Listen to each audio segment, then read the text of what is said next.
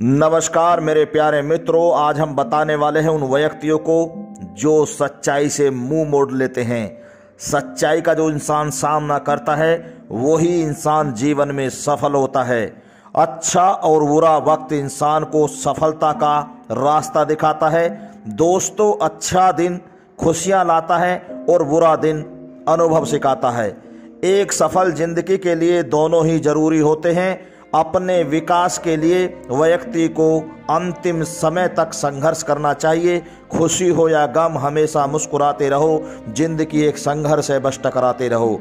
व्यक्तियों को अपनी ज़िंदगी के किसी भी दिन को नहीं कोसना चाहिए। हर व्यक्ति को चीटी से मेहनत करनी सीखनी चाहिए, बुगले से तरकीब लगानी सीखनी चाहिए और मकड़ी से कारीगरी सीखनी चाहिए। जब मनुष्य जन्म लेता है तो उसके पास साँसें तो होती है, पर कोई नाम नहीं होता है। और जब मनुष्य की मृत्यु हो जाती है तो उसके पास नाम तो होता है, लेकिन साँसें नहीं होती हैं। इसलिए सांसों और नाम के बीच की यात्रा को जीवन कहते हैं। ज़रूरत से ज़्यादा मिल जाए तो उसको कहते हैं नसीब। और सब कुछ होते हुए जो रोता रहता है, उसे कहते हैं बदनसीब। और जो ज़िंदगी में थोड़ा कम पाकर भी हमेशा खुश रहता है, उसे कहते हैं खुश नसीब समय के पाबंद बने, खुद को मज़बूत और बेहतर समझें, पहले सुने और बाद में बोलें। समय का इंतज़ार ना करें और खुद को हमेशा शांत रखें। ज़िंदगी की रेस में जो लोग आपको दौड़कर नहीं हरा सकते, वो लोग आपको तोड़कर हराने की कोशिश करते रहते हैं। उस जगह व्यक्ति को हमेशा खामोश रहना चाहिए, जहाँ दो कोड़ी के लोग अपना गुणगान करते रहते हैं। व्यक्तियों को कभी अभिमान नहीं करना चाहिए। व्यक्ति को जीवन में कहीं तलवार तो कहीं कटार की ज़रूरत पड़ती रहती है। इसलिए ज्ञानी बनो, अभिमानी नहीं बनना चाहिए।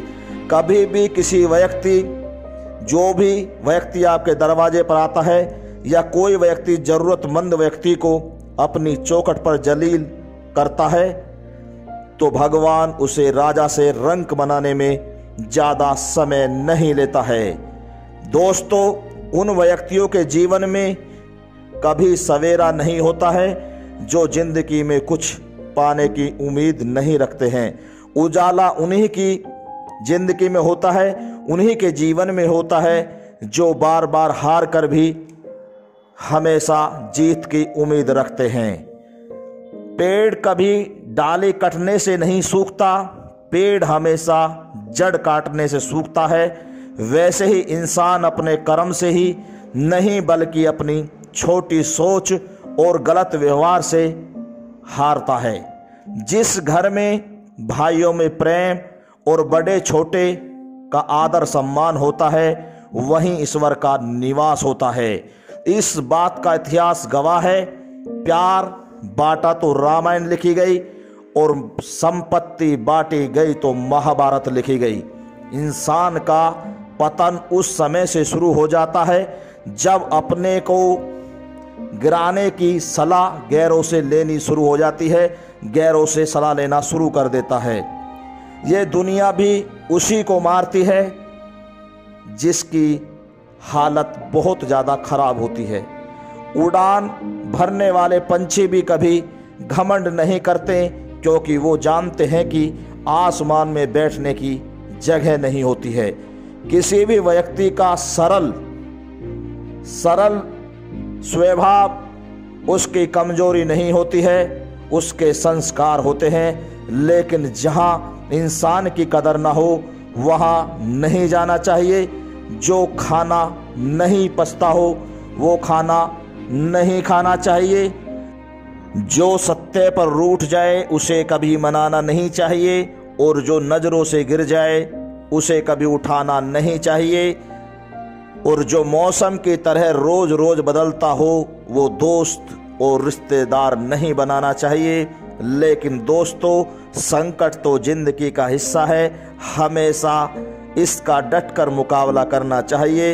रात सुबह का इंतज़ार नहीं किया करती, खुशबू मौसम का इंतज़ार नहीं किया करती। जो खुशी से मिल जाए, उसी का आनंद लिया करो, क्योंकि ज़िंदगी वक्त का इंतज़ार नहीं किया करती। किसी का विश्वास तोड़ने वाला व्यक्ति जीवन में बहुत कुछ खो देता है। छोटे से मतलब के लिए जीवन की खुशियों को अग्नि में झोंक देता है। भगवान के चरणों में शीश झुकाने से मसीह में जो भरी चिंताएँ होती हैं, वो दूर हो जाती हैं। दुनिया में तोड़ने वाले इंसान तो बहुत होते हैं, लेकिन जोड़ने वाले बहुत कम होते हैं। व्यक्ति उसकी जाति से नहीं, उसके व्यवहार से छोटा और बड़ा माना जाता है। जो व्यक्ति अच्छा व्यवहार करता है, उसका मन ही मंदिर बन जाता है। जिस व्यक्ति का आहार अच्छा होता है, उसका तन मंदिर बन जाता है। जिस व्यक्ति का विचार अच्छा हो, उसका मसीतस्क मंदिर बन जाता है। और जिस व्यक्ति में तीनों गुण होते हैं, उसका जीवन ही मंदिर बन जाता है। जो व्यक्ति झूठ बोलकर किसी की माया को ठग लेता है और उस माया से अपने परिवार का पालन पोषण करता है, उसके परिवार का सत्यानाश ही हो जाता है। किसी का दिल दुखाकर जो खुशियाँ ढूंढता है, वो जीवन में कभी खुशहाल नहीं रह सकता। ईमानदारी से कमाई हुई दौलत से जो अपने परिवार का पालन पोषण करता है उससे बड़ा दुनिया में ना तो कोई भक्त होता है, ना भक्ति होती है और ना ही कोई तपस्या होती है। मेरे प्यारे मित्रों, सत्य की पहचान करो, इससे आपका जीवन ही नहीं, अगला जन्म भी सफल हो जाता है। ईमानदारी में ही भगवान का वास होता है। कमज़ोर व्यक्तियों की जो सहायता करते हैं, उससे मन को खुशी मिलती है और बहुत ज़्यादा आनंद मिलता है। मेरे प्यारे मित्रों, हमेशा सत्य की राह पर चलना चाहिए क्योंकि सत्य ही साथ जाता है।